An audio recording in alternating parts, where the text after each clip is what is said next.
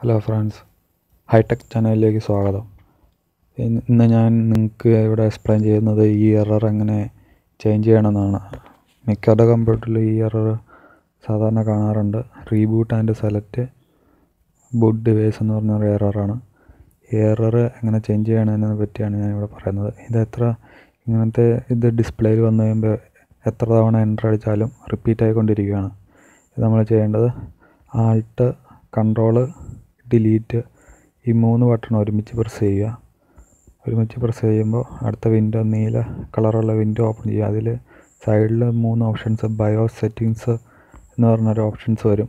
അതിൽ F ten പല കമ്പ്യൂട്ടറിലും വ്യത്യാസം ഉണ്ടാകും ബയോ സെറ്റിങ്സ് എഫ് ടെണ്ണാണ് ഞാൻ പിടിച്ചേക്കിയത്. അത് ഞെക്കി കഴിയുമ്പോൾ ബൂട്ട് ഡിവൈസുകൾ വരുന്നത് കാണാം. അപ്പോൾ ഈ ഇതൊക്കെയാണ് ബൂട്ട് ഡിവൈസ് ഇവിടെ നമ്മൾ ഹാർഡ് ഡിസ്കിന്റെ പേരൊക്കെയാണ്. പിന്നെ ഡി വി ഡി റൈറ്ററിന്റെ ഒക്കെ ഉണ്ട്.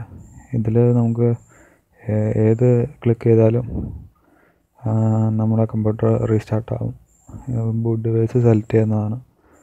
അപ്പോൾ ഞാൻ ഇപ്പോൾ ഇവിടെ ക്ലിക്ക് ചെയ്ത ആദ്യത്തെ ഓപ്ഷനാണ് ഡി വി ഡി റൈറ്റർ എന്ന് പറഞ്ഞത്.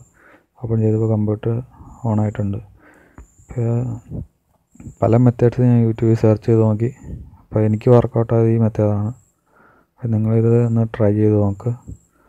ഇത് വർക്കൗട്ട് ആയിട്ടില്ലെങ്കിൽ നിങ്ങൾ യൂട്യൂബിൽ ഈ സെറ്റ് ഈ എറർ തന്നെ സെർച്ച് ചെയ്ത് തന്നെ പല വീഡിയോസ് നമുക്ക് യൂട്യൂബിൽ കാണാൻ പറ്റും.